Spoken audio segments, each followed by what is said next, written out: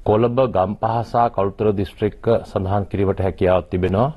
මේ අනුව මේ කොවිඩ් පැතිරී යාම වැළැක්වීම උදෙසා ශ්‍රී ලංකාවේ රජය විසින් මීට දින දෙකකට ප්‍රථම එනම් ඔක්තෝබර් මාස 29 වෙනිදා මධ්‍යම රාත්‍රියේ සිට නොවැම්බර් මාස දෙවැනි දින එනම් හෙට උදෑසන පහ දක්වා නිරෝධායන ඇඳිරි නීතිය පැනවීමට කටයුතු කරනු ලැබුවා. කෙසේ වෙතත් පසුගිය දින දෙක තුල සහ අද දිනේ වාර්තා වන කොවිඩ් ආසාදිතයන් සහ ඔවුන් සිටින ස්ථාන ඔවුන්ගේ ආශ්‍රිතයන් ගැන විශ්ලේෂණයක් කිරීමෙන් අනතුරුව රජය විසින් බස්නාහිර පලාතේ කොවිඩ් දහනම පැතිරීම වැලැක්වීම වෙනුවෙන් බස්නාහිර පලාතට ක්‍රියාත්මක වන පරිදි හෙට උදෑසන පහ සිට නැවත වතාවක් හෙට දෙවෙනිදා උදෑසන පහේ සිට නොවැම්බර් මාස 9 වන දින එනම් ලබන සතියේ සවුරුදා උදෑසන පහ දක්වා නිරෝධායන ඇඳිරි නීතිය පැනවීමට කටයුතු කරනු ලබනවා.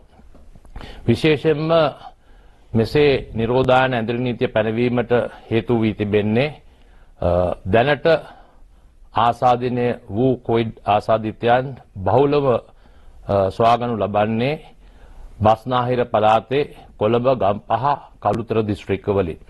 ඒ වගේම අපි දකිනවා ඇහැලියොගඩ ප්‍රදේශයෙන් ඒ වගේම කෑගල්ල ප්‍රදේශයෙන් ඒ වගේම අපි දැකලා තිබෙනවා කුරුණෑගල ඒ වගේම කුලියාපිටිය වගේ ප්‍රදේශවලින් තමයි මේ වෙනකොට අපි දැකලා තියෙන්නේ කොයිඩ ආසාදිතයන් බහුලව වාර්තා වන්නේ.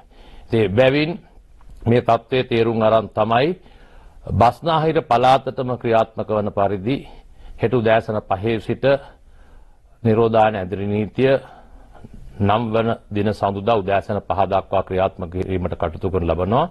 බස්නාහිර පළාතට අමතරව විශේෂයෙන්ම රත්න රත්නපුර දිස්ත්‍රික්කයේ ඇහැලියගොඩ පොලිස් වසමටත් ඒ වගේම කුරුණෑගල නගර සභා සීමාවටත් ඒ වගේම කුලියාපිටිය පොලිස් වසමටත් මේ ආකාරයෙන්ම හෙට උදෑසන පහේ සිට නම් වෙනිදා උදෑසන පහ දක්වා නිරෝධායන ඇඳිරි නීතිය ක්‍රියාත්මක වීමට කටයුතු කරනු ලබනවා. මේ අවස්ථාවේදී විශේෂයෙන්ම මෙසේ නිරෝධායන ඇඳිරි නීතියක් පනවා රාජ්‍ය විසින් බලාපොරොත්තු වෙන්නේ මෙම ප්‍රදේශවල ජීවත් වන ජනතාව නිවෙස් වලට වී රැඳී සිටි කියලා බලාපොරොත්තු වෙනවා. අත්‍යවශ්‍ය භාණ්ඩ අත්‍යවශ්‍ය සේවාවන් සඳහා රාජකාරී නැත්නම් ඒ ආකාරයෙන් කටයුතු කර අයවරුන්ට පමණක් මෙසේ තවදුරටත් එම ප්‍රදේශවල ගමන් කිරීමට අවසර ලබා දීලා තිබෙනවා. ඒ අරුණු කොටගෙන වෙන කිසිම පුද්ගලයෙක්ට නිවෙස් වලින් පිටතට නොපැමිණෙන ලෙස අපි ඊ타මත්ම කාරුණිකව ඉල්ලා සිටිනු ලබනවා. විශේෂයෙන්ම මේ නිරෝධායන ඇඳරි නීතිය පවත්වගෙන යනවා වගේම මේ හුදෙක්ම අනිකුත් ප්‍රදේශවලට සම්බන්ධ වෙනවා. ඉතාමත් සුළු වශයෙන් හෝ කොයි දාසාදිතෙන් හමුවන මේ මොහොතේ යම්කිසි පුද්ගලයෙකු කොවිඩ් ආසාදිතයෙක් හැටියට වාර්තා වුවොත් ඔහු වහාම එම ස්ථානයෙන් රෝහලක් වෙත රැගෙන යාමට සෞඛ්‍ය අමාත්‍යාංශය විසින් කටයුතු කරලා තිබෙනවා. එසේ එම කොවිඩ් ආසාදිතයා රෝහල වෙත රැගෙන යන අවස්ථාවේදී ඔහුගේ ප්‍රථම ආශ්‍රිතයන් සහ සමහර අවස්ථාවලදී මහජන සෞඛ්‍ය පරීක්ෂකවරයා හෝ සෞඛ්‍ය වෛද්‍ය නිලධාරගේ දැනුමට අනුව අනෙකුත් දෙවනි ආශ්‍රිතයන් පවා මේ ආකාරයෙන්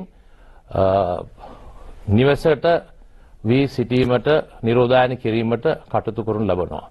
ඉතින් අපි බලාපොරොත්තු වෙනවා මෙසේ නිවෙස් සඳහා නිරෝධායන කටයුතු සඳහා යොදවා ඇති නිවෙස් නිරෝධායනට දන්වා ඇති සියලුම අයලුන් මේ ආකාරයෙන්ම නිවෙස් වලට වී නිරෝධායන වෙයි කියලා නමුත් සමහර අවස්ථාවල අපිට වාර්තා වෙන එසේ නොවි සමහර පුද්ගලයන් නිවෙස් වලින් පිටතට පැමිණෙන බව. මේ ඊ타ත්ම අවදානම් තත්වයක් මේ අවස්ථාවේදී රටේ තිබෙන කොවිඩ්-19 තත්ත්වයේ සලකා බැලීමේදී මෙසේ නිරෝධායන ලක්වන සියලුම පුද්ගලයන් ඒ ආකාරයෙන්ම සිටීමට වග බලා ගත යුතු බව ඊ타ත්ම කාරුණික ඉල්ලා සිට ලබනවා.